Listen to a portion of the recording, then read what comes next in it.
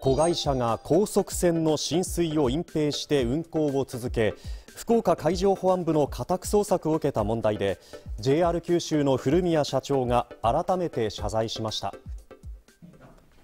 今日の定例会見で JR 九州の古宮社長は先週、子会社の JR 九州高速船が福岡海上保安部の家宅捜索を受けたことについて改めて謝罪しました。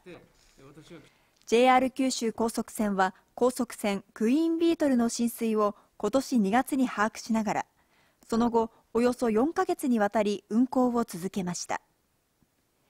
浸水をめぐる隠蔽工作も国の監査で発覚し先月国土交通省は安全管理の責任者2人に対する全国初の解任命令を出しています。